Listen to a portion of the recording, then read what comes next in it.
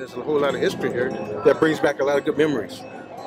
Makes it feel very welcome. I think uh, it's good to see uh, the Air Force support Vegas, and we support the Air Force as much as we can too. I used to bring my uh, his dad when he was uh, little, and now we're still coming. I brought him this time. I think it's really cool how it's a lot of hands-on, how the kids can get in the, the aircraft and actually see everything up close.